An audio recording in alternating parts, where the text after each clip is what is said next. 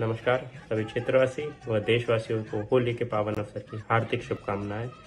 इस रंगों के त्यौहार पे हम लोग, जैसा होली का त्यौहार अपने आप में मशहूर है, कि सब लोग पुरानी कटुता, द्वेष भूल के एक नए शुरुआत करते हैं।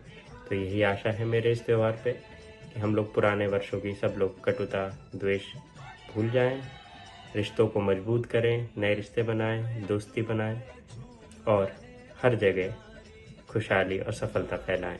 बस यही मेरी आशा है। आप सबको फिर से तहे दिल से होली की हार्दिक शुभकामनाएँ। नमस्कार, आपका अपना अमन यादव, अमनपुरम शिकोबाद से। नमस्कार, सभी क्षेत्रवासी व देशवासियों